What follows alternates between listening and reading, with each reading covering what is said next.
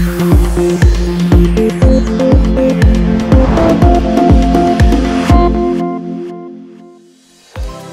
and welcome to Thursday's daily financial news brought to you by CFDglobal.com.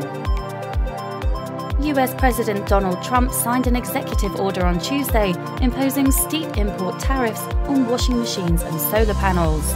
Apple Inc. has jumped into the voice speaker wars with the HomePod smart speaker that will compete against Google and Amazon. Gold prices rose even as the end of the US government shutdown rekindled, reach for yield trading patterns that have recently driven the US dollar downward. The price of crude oil is looking bullish at this point. The ATR has shifted from high volatility to low volatility in the last 48 hours.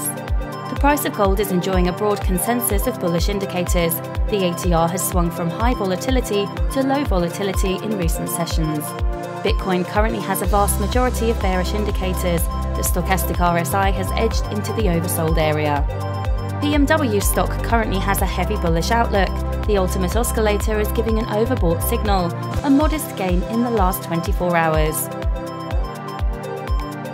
The ECB's monetary policy report will be released at 13:30 GMT. The US continuing jobless claims at 13:30 GMT. The BOJ's monetary policy meeting minutes at 23:50 GMT.